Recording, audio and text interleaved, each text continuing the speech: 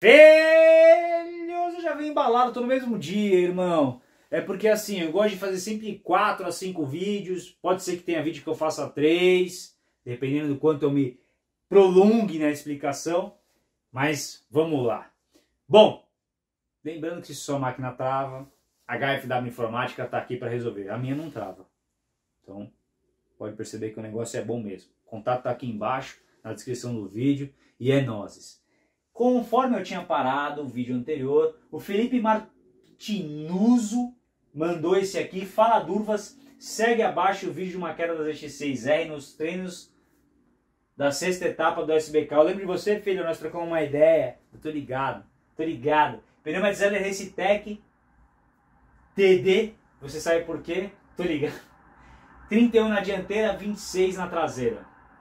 Bom, calibragem bom. Última volta do treino, cansaço pegou um pouco, dosei errado a mão, na traiçoeira, junção. Incrivelmente bati meu recorde de 1,48 na, na qualificatória no dia seguinte, vai entender. Eu te explico. Tamo junto até dia 27 de novembro. Até, filho, é nozes. Te explico, sabe por quê?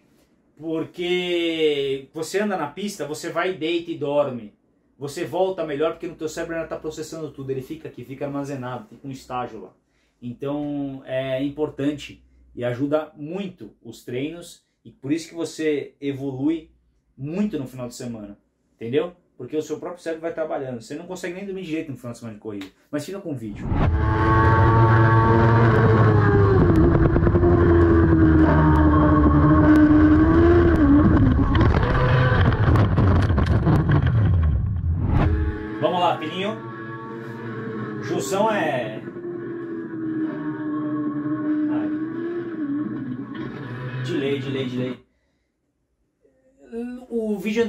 De quedas da 10, mesma coisa. Olha aí, eu parei numa imagem muito boa, velho. Olha que espacate, velho. Sabe o que é isso aqui? Isso aqui, filho, é Kickboxer 2 com Jean-Claude Van Damme. É aquele lá. É isso aí mesmo. Quem é dessa época treinou, chamou lá com a cordinha aqui, ó, e veio. Malandro, como é que ficou a virilha, hein? Sabe, e é nessa hora que a gente não percebe que a gente fez isso, aí você começa a assim, fala assim, nossa, na virilha, o que será que aconteceu? Aqui, ó.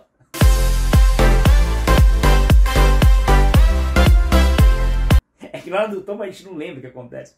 É, depois que você, você vê que você abriu a perna assim, fez tipo, tipo, tá ligado? Você faz uns negócios que você nunca viu. O braço vem parar aqui, o outro veio parar aqui, a perna dobrou. Aí você sai da moto e fala, nossa, tô com um pouco de dor nas costas, mas não sei o que é. Tá aí. Bom, o que aconteceu aqui, filho? Inclination demais, aceleração demais, pressa, né?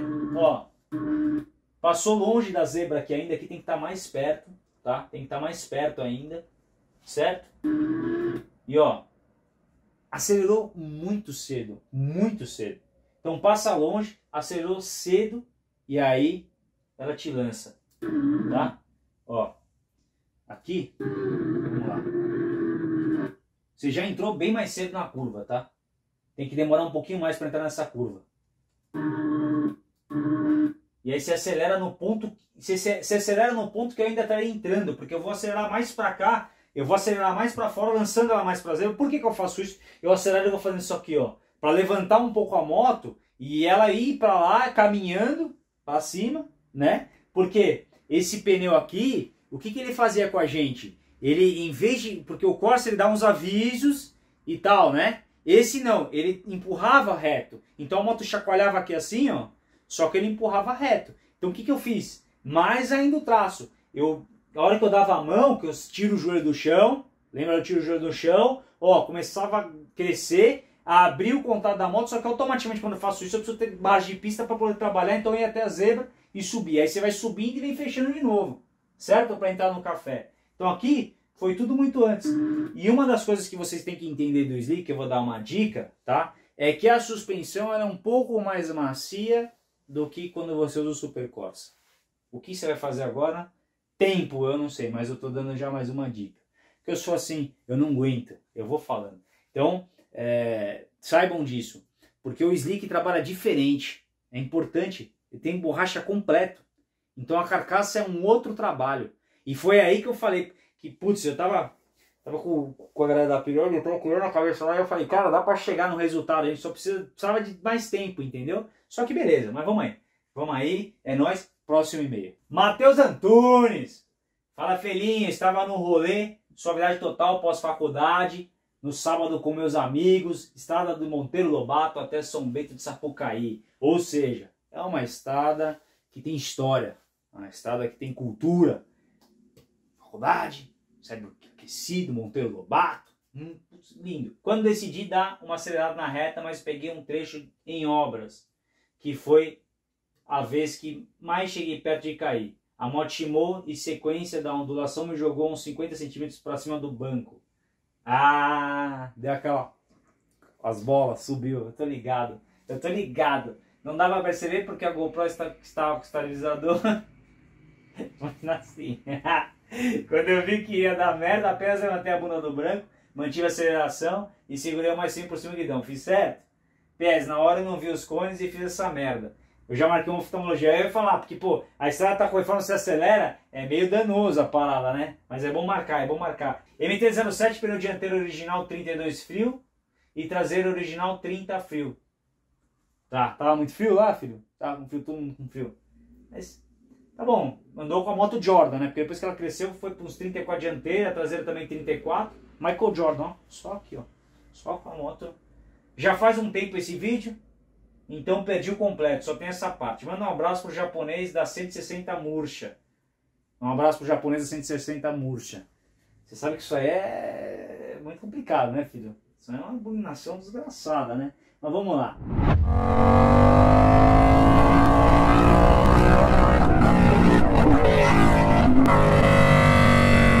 Vou pegar aqui, já era. Ah, já começa bom o vídeo. A contramão contramão. Vem, vamos. Continua na contramão. Pô, você fez? Você, aqui, aqui, aqui. Você fez tudo isso na contramão, filho? Pô, que luxo, hein? Você conseguiu fazer tudo isso na contramão? Pois é, tava, tava, numa, tava na Europa, filho, é isso? O que aconteceu? Vocês estavam pegando a Revolução Francesa nessa época da faculdade, que aí de repente a mão inverteu na cabeça. O que será que aconteceu? Mas vamos lá. Vamos lá, vamos lá.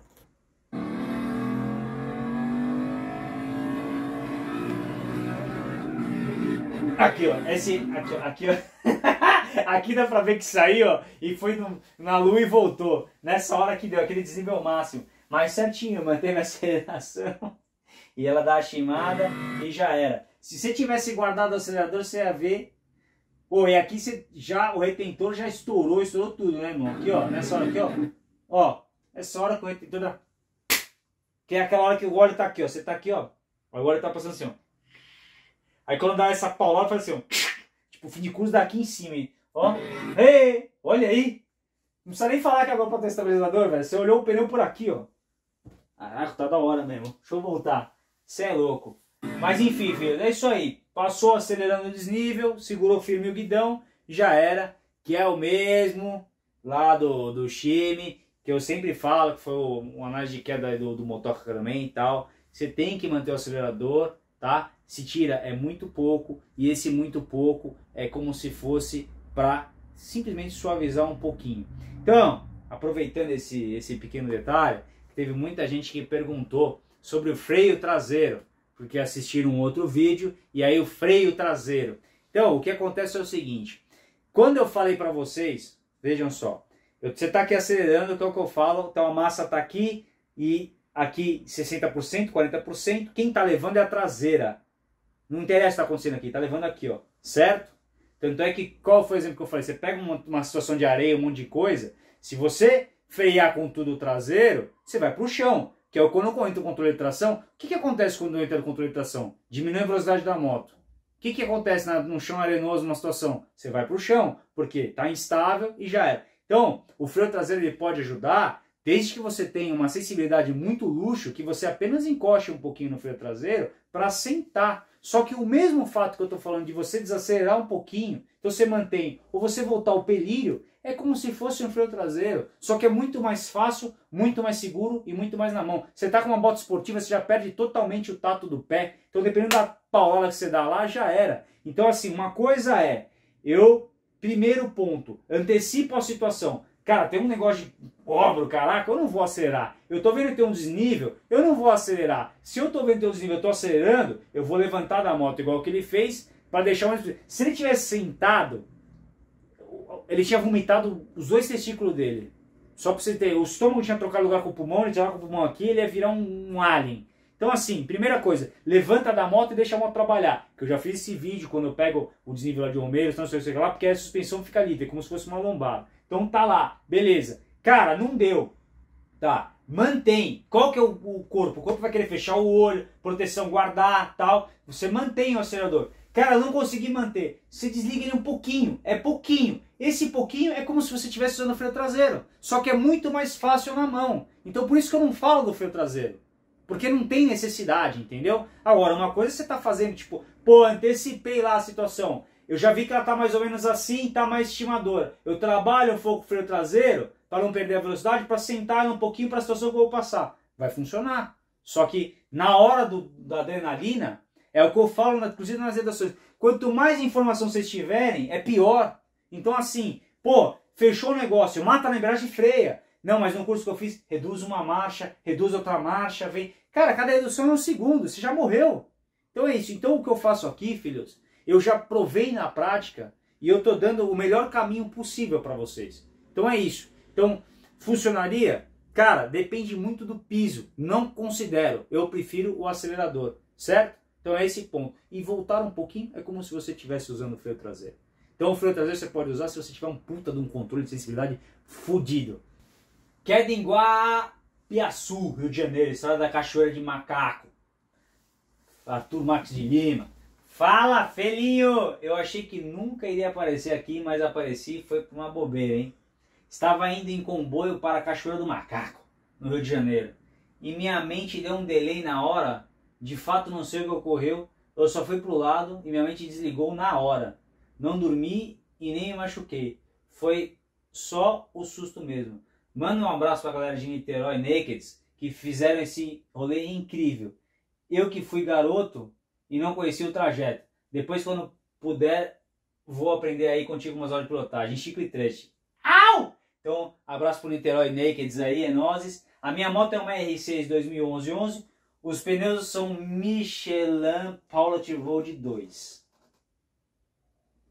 Calibragem estava 36 atrás e 32 na frente.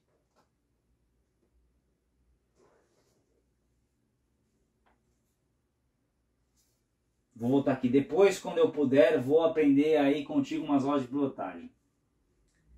Arthur, eu estou te esperando. Mas antes disso, eu vou pedir para você assistir meus vídeos de pneu e calibragem.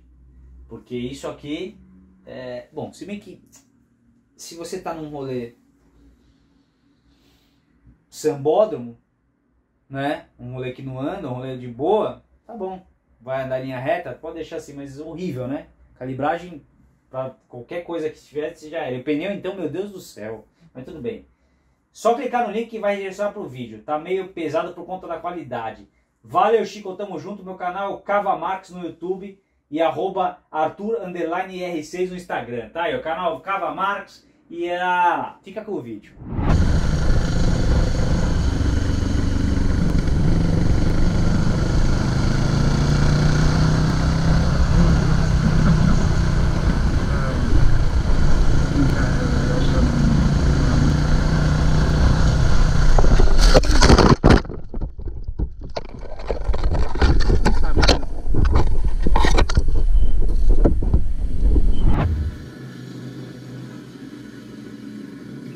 vamos lá, vamos lá.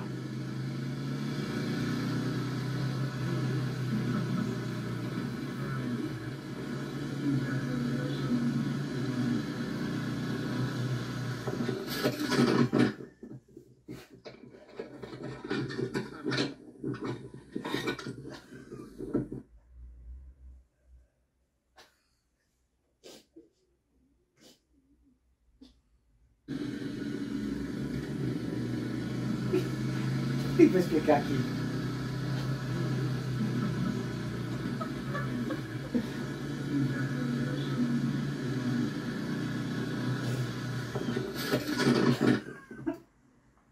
Velho, eu sei o que tem vai te falar aqui. Eu não sei, você queria entrar ali, o que, que é? Você mora ali? Você passou perto da sua casa? Não dá pra entender aqui, filho. Sinceramente. Parece aquele cara. Lembra um cara antigo da. Acho que era uma Tiger, meu que o cara pega, a curva era pra cá, o cara vai reto, uau, vai embora, o cara vai parar lá no portão, velho. Estaciona a moto deitada no chão e sai rolando como se estivesse desviando de balas perdidas. Lembra desse vídeo? Eu não lembro qual análise de queda era. Se alguém lembrar, por favor, põe aqui nos comentários, que é sensacional também. O cara, o cara vai até, eu falei, pô, o cara morava ali. Cara, aqui é a mesma coisa, tipo... Você falou, mano, uma entradinha ali, ó... Pô, eu vou ali mesmo, é ali, é ali, ó. Nossa, velho. E ó, foi aquela foi aquela porrada seca que você dá e a moto para e você vira uma cambalhota por cima dela e cai, né, velho? Você é louco, mano.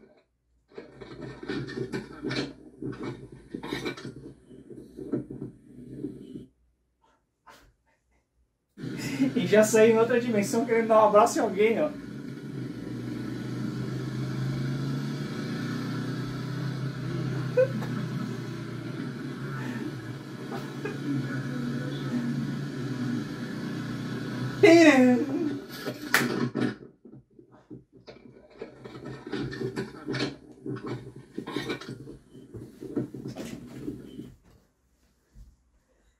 Meu, beleza.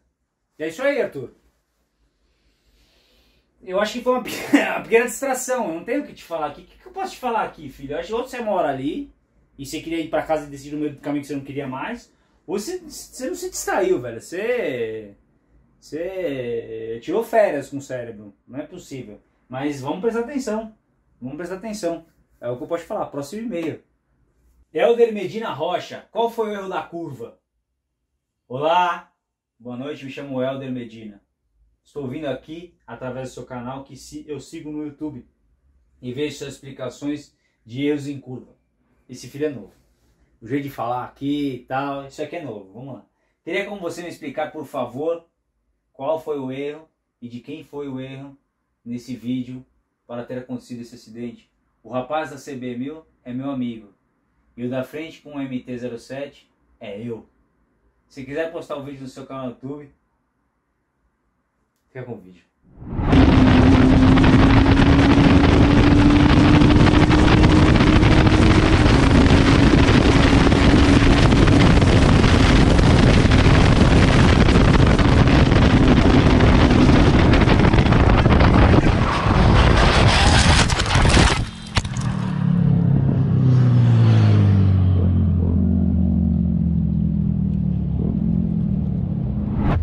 Valendo.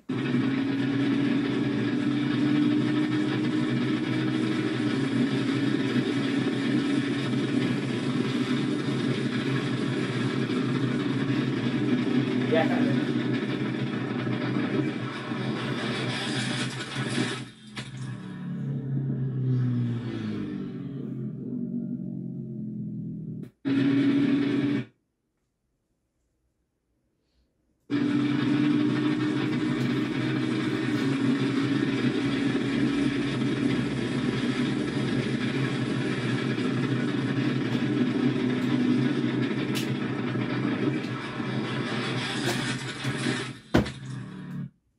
Sabe que pra mim esses vídeos são os mais difíceis de analisar, né? Eu prefiro quando meu, a moto escapa, sai, a roda vai não sei o que, cara, não sei, porque assim pra mim.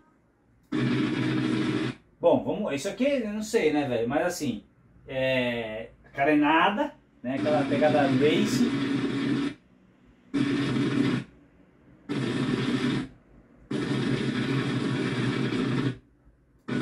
Você levanta, freia você também já. Enfim. Você também já perdeu a curva aqui, né? Já tava meio entregue já. Você levanta, aí você dá aquela. E não é uma curva tão difícil, hein? É uma curva sussa essa aqui. Sussa demais. Você já ficou entregue, freio, freio, freio, freio e foi abrindo. E aqui, irmão, só fez a mira, né? Ele tava aqui, ó. É aquele, aquele joguinho que fica aqui assim, ó. A mira aqui assim, ó. Sabe? Aí vai passando os negócios, daqui a pouco a mira faz. Tipo, Top Gun 2. Top Gun 2, não vem aqui que aí vem a mira e tal, e passa o avião, faz aquela. Aí passa, atira que já é. foi aqui. A hora que você fez isso aqui, ele tava, ele tava só aqui, ó. Hum, hum. A hora que você ficou da hora, ele. Hum, aí, ó. Pá, já era. Aqui, na verdade, primeiro ele drenou, né? E é uma arma letal e leva você. Você se perdeu na curva sozinho, mas se ele não tivesse atrás de você igual uma arma letal, não ia acontecer nada, você ia se ia voltar. Mas aqui foi ele, né, velho? E aqui eles já tomou, uma, já tomou aqui, né? No meio da costela, só pra ficar ninja. Imagina, imagina você tá aqui, ó. Aqui, ó. Tá uploadando, aquela aqui assim, ó. Mas só toma aquela que vem aqui, ó. E já, né? Porque, mano, ele deu. Você toma aqui assim, né? Você vem aqui e tá aquela que. Pum! Na costela. Você. Ó a paulada aqui, ó. Ah, toma! É.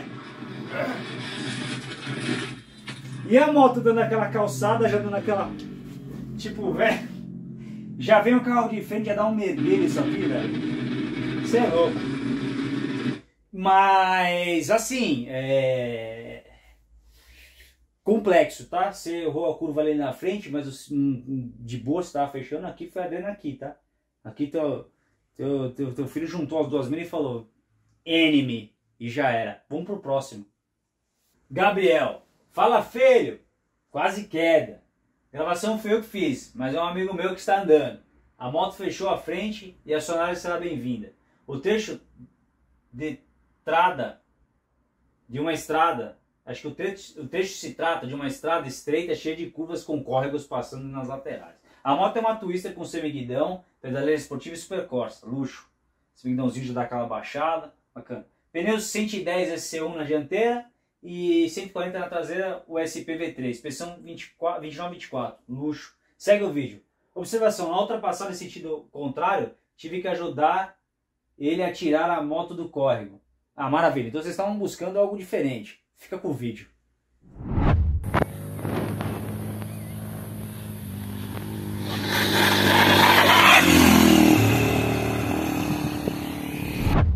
Vamos lá.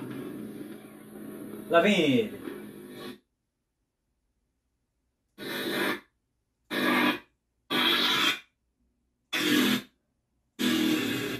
Viseirinha aberta que é para dar aquele up, né? Você já vê um, um negocinho de frente, já dá aquela. E já, ó, vai embora. Fecha a viseira, filho. Fecha a viseira, filho. Vamos lá. Vem que vem, vem que vem, vem que vem.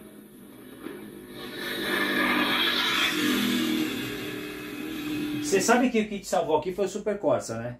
Super Corsa ele é uma mãe. Eu falo, ninguém acredita, é uma mãe. Aqui não teve nenhuma técnica, Super Corsa. O que, que aconteceu aqui, filhos? Vocês são bons nisso, vocês sabem já. Aqui tá fácil. Veja se vocês escutam o acelerador crescer ou só diminuir e inclinar mais.